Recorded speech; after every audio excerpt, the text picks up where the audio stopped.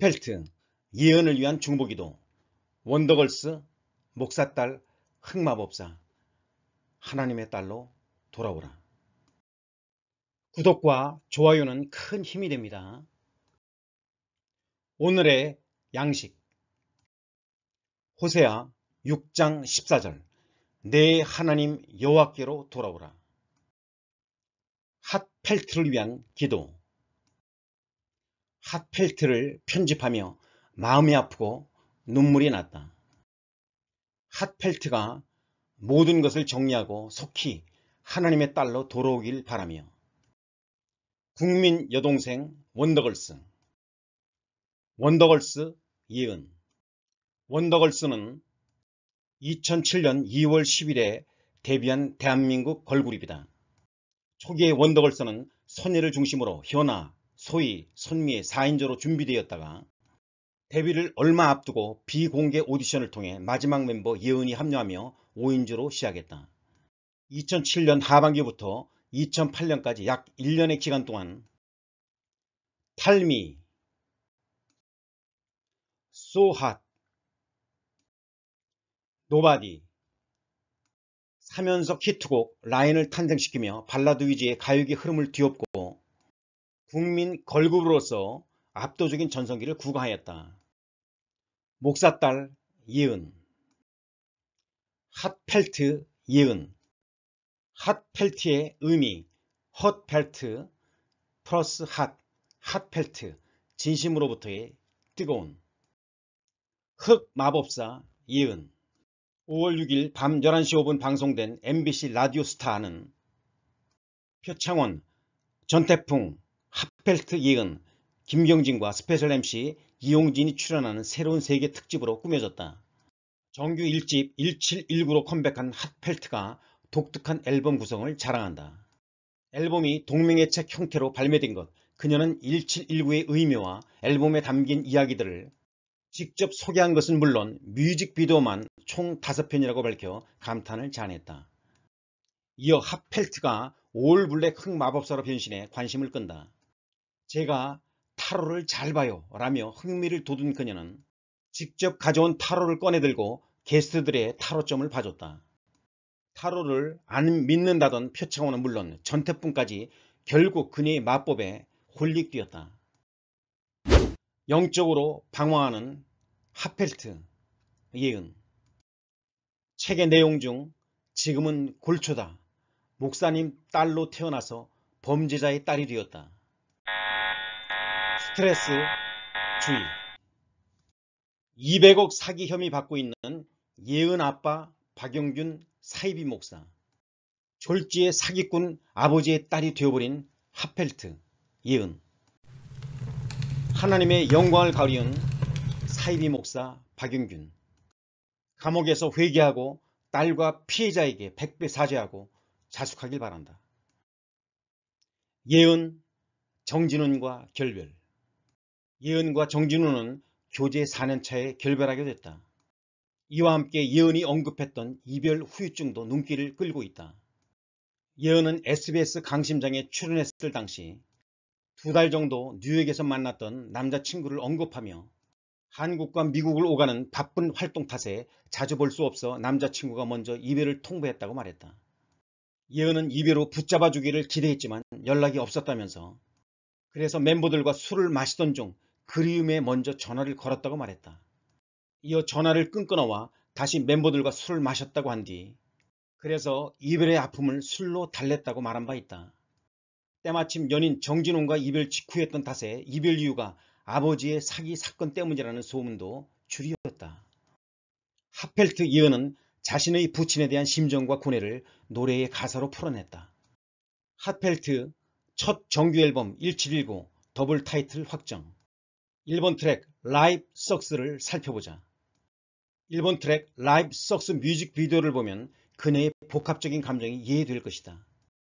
영상 속 대부분 외국 신문 가운데 유독 기독교 신문인 국민일보가 눈에 들어온다. 또한 처음과 마지막에 피로 물든 모습이 인상적이다. Life Sucks의 가사를 살펴보면 다음과 같다.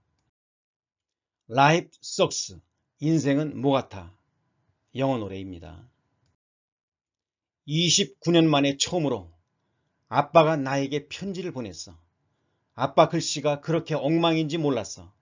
내가 더 잘 알았어야 했는데.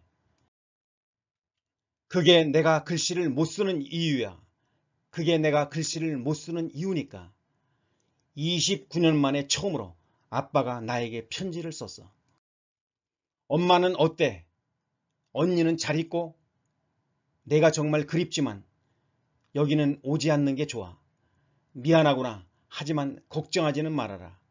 나는 너의 건강과 미래를 위해 기도하고 있단다. 맙소사, 아가야, 일이 좀 잘못 되었단다.